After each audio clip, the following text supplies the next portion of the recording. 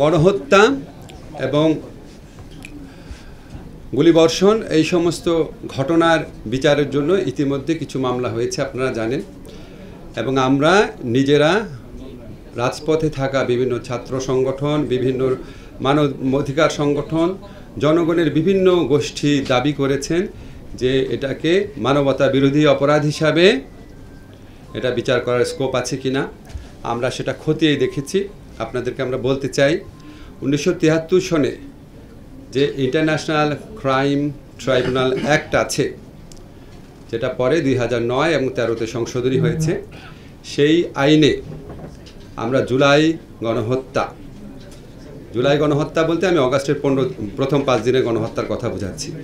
এটার জন্য দায়ী যে ব্যক্তিবর্গ আছেন, উনাদের বিচারের জন্য, আন্তর্জাতিক অপরাধ ট্রাইব্যুনালে ওনাদের বিচারের জন্য আমরা ইতিমধ্যে একটা ছোটোখাটো গবেষণার মতো করেছি, করে দেখেছি এই আইনের অধীনে এই হত্যাকাণ্ডের সাথে জড়িত ব্যক্তিরা এবং যারা আদেশ দিয়েছেন, বিভিন্নভাবে সহযোগিতা করেছেন, তাদের সকলকে বিচারের আওতায় আনা সম্ভব।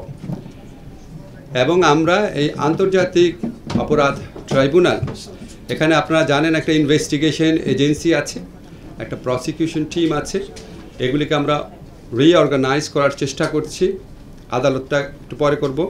আর এই ইনভেস্টিগেশনের ক্ষেত্রে এটা আমরা জাতিসংঘের তত্ত্বাবধানে করার চেষ্টা করছি। জাতিসংঘ থেকে আমাদের বারবার সহযোগিতার আশ্বাস দেওয়া হয়েছে।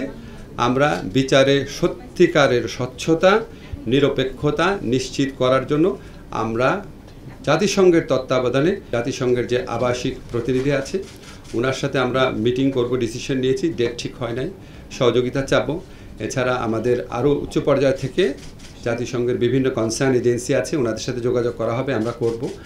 আমরা আশা করছি দ্রুত আমরা এটা শুরু করতে পারব।